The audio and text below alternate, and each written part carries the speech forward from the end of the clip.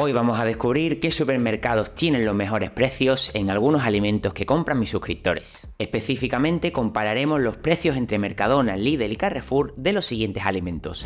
Leche, bebidas vegetales, frutos secos, atún al natural en lata, legumbres cocidas, yogur natural y tortillas de patata refrigerada. Hemos vivido y estamos viviendo unos meses letales en cuanto a subida de precios en sectores como la alimentación y por eso considero que es importante que os actualice los precios de estas tres grandes superficies para que podáis ir al que más os apetezca. Aunque también tengo que decir que los precios fluctúan muchísimo y es muy probable que cuando lo veas los precios ya hayan fluctuado muchísimo. De cualquier forma, si te gusta y te interesa este tipo de contenido, pónmelo por los comentarios y también con un like y analizaré más gamas de productos e incluso también más supermercados que nos han quedado, como puede ser Aldi, Alcampo o cualquier otro que me comentéis. Empezamos con los frutos secos. En este caso he comparado los precios por kilo de nueces, almendras y anacardos.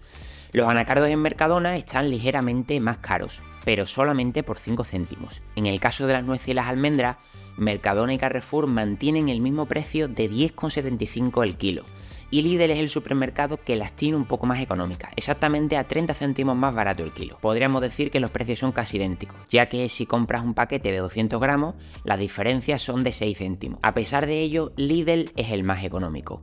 Y aún es más económico si pillas las bolsas que tienen de algunos frutos secos que son XXL, en la que te pueden salir los anacardos a 10,78 el kilo y las almendras a 8,3. Pasamos a los copos de avena en el envase típico de 500 gramos. Aquí Lidl gana de nuevo, ya que lo tiene a 0,89 el paquete, mientras Mercadona a 1 euro y Carrefour a 0,95. En cuanto a los yogures naturales, Carrefour y Lidl los comercializa en envase de 8 yogures y Mercadona de 6. Haciendo cálculos por kilo de producto podemos comprobar que los precios entre los tres supermercados son casi idénticos. Lidl los tiene a 1,39 el kilo, Mercadona a 1,40 al kilo y Carrefour a 1,44, prácticamente igual. Analizando los packs de 6 latas de atún natural, aquí sí comprobamos diferencias algo más notorias entre supermercados. Carrefour es el que lo tiene más caro, específicamente a 4,55 las 6 latas, seguido de Mercadona a 4,4 y Lidl a 3,99.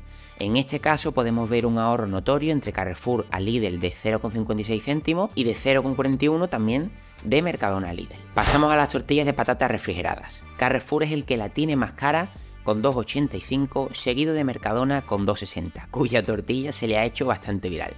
Y por último, 2,49 de Lidl si es la clásica, aunque también tiene una más gourmet que sale 2,99. En cuanto a la pasta, en este caso en forma de macarrones, vemos que es exactamente igual, excepto que Lidl la tiene un céntimo menos. El leche es prácticamente igual. La entera 0,91 en Lidl y Mercadona y Carrefour a 0,90 la semi igual en los tres supermercados, 0,87 céntimos el litro. Y en la desnatada, sorprendentemente, Lidl es donde vale más cara, exactamente 0,89 respecto a los 0,85 de Mercadona y Carrefour. En cuanto a las bebidas vegetales, he comparado las sin azúcares de soja, avena y almendra, aunque hay más. En la de soja, Mercadona y Carrefour la tienen a 80 céntimos el litro, mientras que Lidl es algo más barata y es a 0,77. En cuanto a la de avena, la más barata sin duda es la de Mercadona Nueva que ha sacado, que no tiene azúcares hidrolizados, con 81 céntimos el litro respecto a los 95 céntimos de Carrefour y 0,91 de Lidl. Esta última de avena es muy recomendable.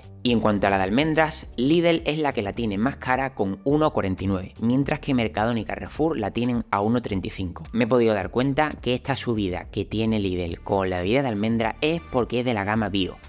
La de almendras creo recordar por lo menos en el Lidl que yo suelo ir, no la tiene no bio. Sin embargo, por ejemplo, la de avena y la de soja os he pasado la que tiene sin azúcares añadidos no bio pero tiene otra versión que es bio que es muchísimo más cara. No obstante, la de almendras creo que no la tiene no bio y por eso es más cara. Y terminamos con las legumbres cocidas.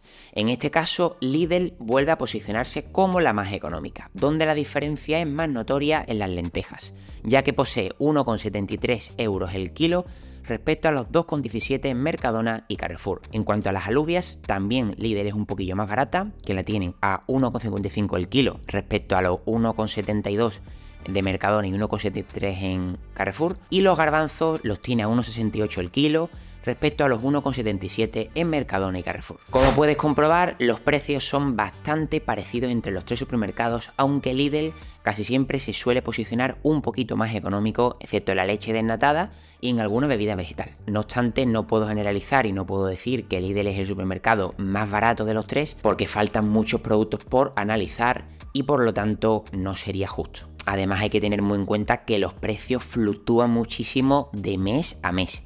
Esto lo podéis comprobar los que vais a un supermercado en concreto que suben o bajan impresionantemente y más desde la inflación desde el año pasado. Pero bueno, si te gusta este tipo de contenido, pónmelo por los comentarios y analizaré mucha más gama de productos en muchos otros supermercados. Espero que te haya gustado el contenido, suscríbete si te ha gustado y dale un like y también recuerda que tienes el alimentólogo en las plataformas de audio.